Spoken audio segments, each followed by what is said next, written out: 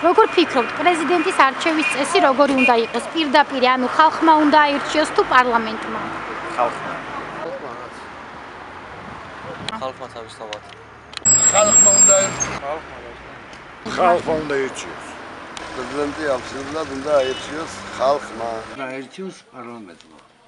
არა პრეზიდენტმა. ხალხმა უნდა აირჩიოს და პრეზიდენტი ხალხმა.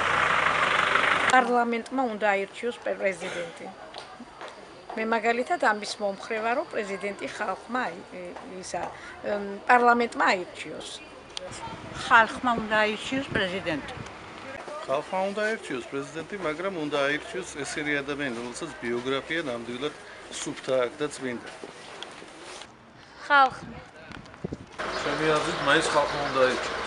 უკეთესია ხალხმა აირჩიოს პრეზიდენტი. აა, ჩვენი ხალხის გაჭირება ხალხის ხალხის ასე უჭერთ, ასე არც მუშაობა, არც სამუშაო ფაქტები რაღაცა რო გაჩნდეს და რომ რომ ცოტა პური საჭმელი ასე რო გაუკეთ გააკეთოს ხალხმა. აა, ხალხისიც რო იქნება, აი, ხალხმა უნდა აირჩიოს პრეზიდენტი. ხალხმა უნდა აირჩიოს, ჩემი აზრით. პარლამენტის მთავარია, რა თქმა უნდა, და ხალხიც. ხმა უნდა აირჩიოს პრეზიდენტი. ვიტო ფიქრობ ასე რომ პრეზიდენტი საქართველოს პრეზიდენტია და საქართველოს მის ხალხს ეკუთვნის.